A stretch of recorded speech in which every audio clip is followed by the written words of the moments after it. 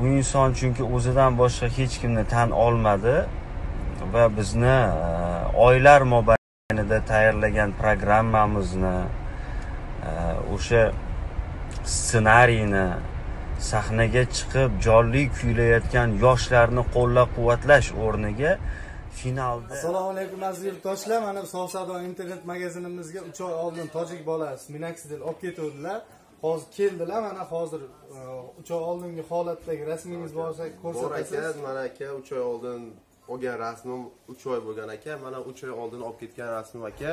Shu yerdan uch oy oldin dori olib ketdim aka. Mana uch oylik rezultati aka yana oyonida bundan ko'proq qo'yishni xohlayman. Masalan kelib olib ketishni ham sizlarga tavsiya qilaman. Yaxshi garantiya bilan ishoninglar.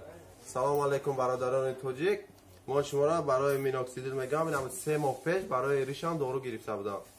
و شما میتونین اومده همینجا بگیرین. اینترنتی صاف سودا رو.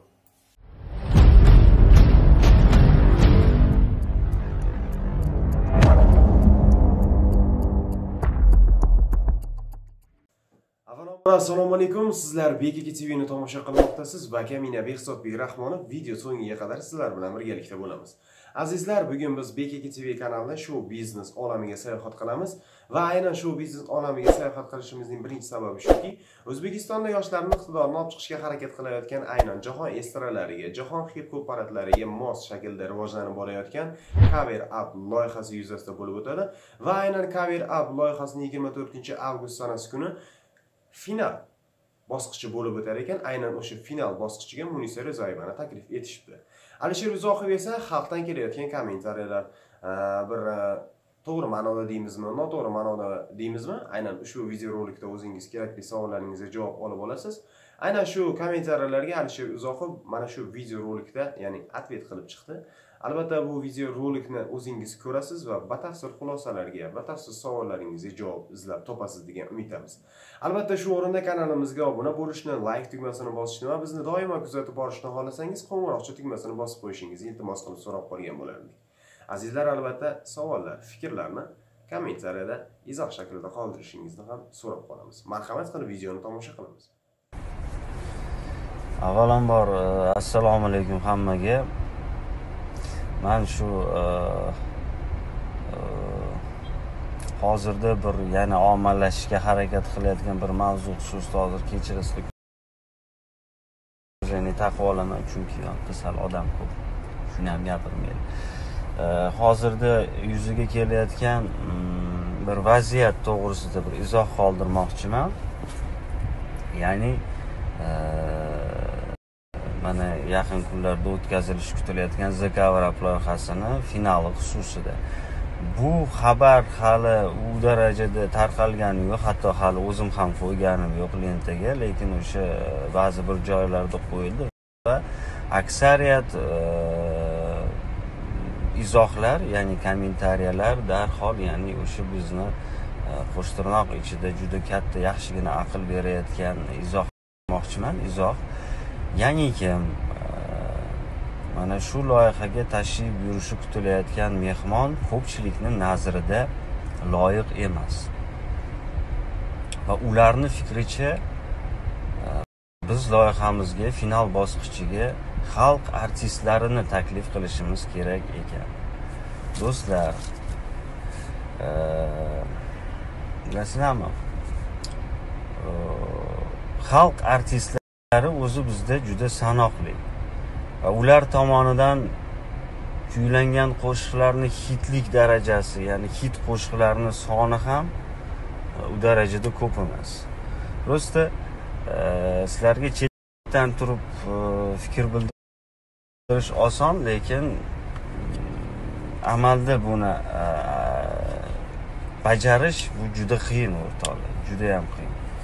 Shuning uchun man aytmoqchimanki aksariyat e, izohlar ya'ni kommentariyalar darhol ya'ni o'sha bizni e, qo'shtirnoq ichida juda katta yaxshigina aql berayotgan izoh demoqchiman izoh ya'ni kim e, mana shu loyihaga tashrif buyurishi kutilayotgan mehmon ko'pchilikni nazarida loyiq emas. Va ularni fikricha biz loyihamizga final bosqichiga xalq artistlarini taklif qilishimiz kerak ekan. Do'stlar bilasizlarmi xalq artistlari o'zi bizda juda sanoqli va ular tomonidan kuylangan qo'shiqlarni hitlik darajasi ya'ni hit qo'shiqlarni soni ham u darajada ko'p emas. Просто sizlarga chetdan turib fikr bildirish oson lekin amalda buni bajarish bu juda qiyin o'rtoqlar juda ham qiyin. Shuning uchun man aytmoqchimanki aytmoqchimanki sizlarga mm, bu bildirilayotgan fikrlar hammasi noto'g'ri.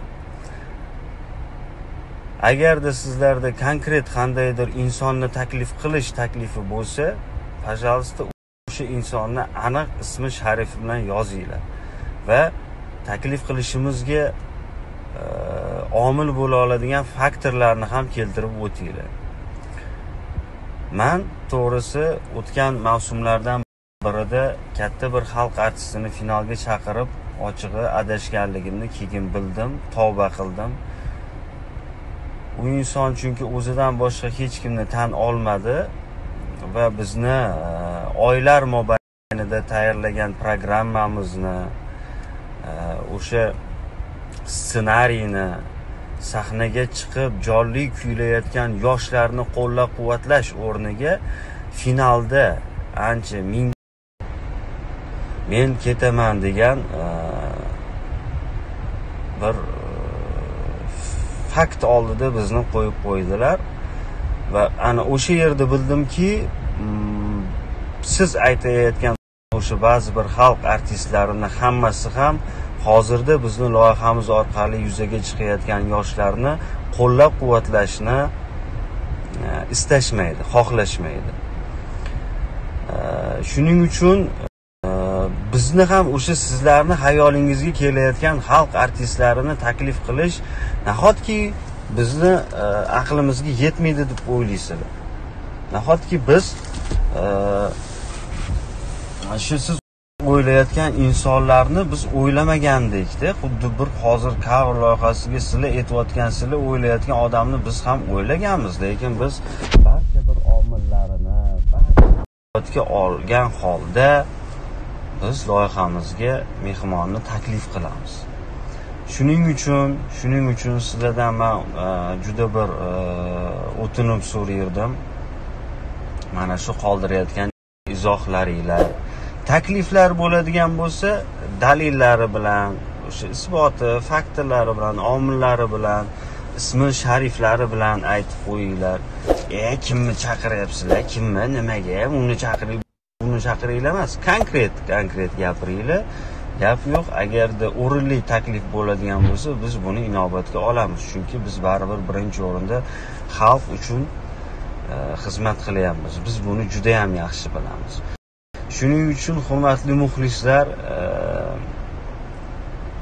biz taklif qilgan mehmonimiz finalga taklif qilgan mehmonimiz hozirda the cover up loyihasi xonanda sifatida biz uchun eng ideal variant.